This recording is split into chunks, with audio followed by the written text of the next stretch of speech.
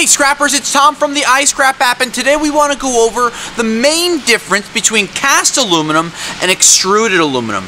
Now of course we've talked about extruded aluminum. It's not a grade of aluminum, it's a process where a solid aluminum bar is pushed through a mold and out the other side you have a piece that has all these different grooves and these different angles pulled out.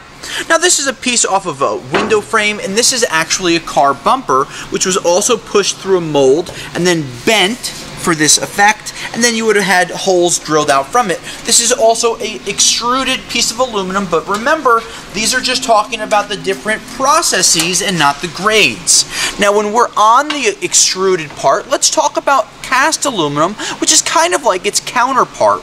Now cast aluminum is generally made with a lot of pot metal, which would be a mix of all different grades of aluminum that are not going to be properly sorted or separated.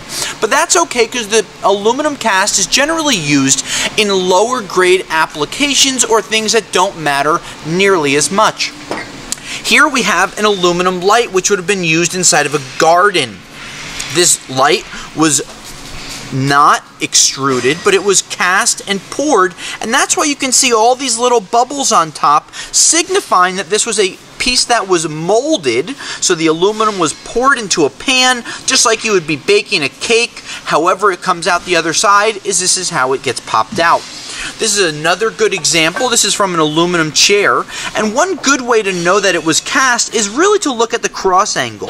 You have all these little aluminum crystals, if you will, in here. And this just shows that all of the different aluminums were poured together into a mold, kind of poured in, and whatever happened afterwards, it's not a high application where you're going to need it to be a perfect grade.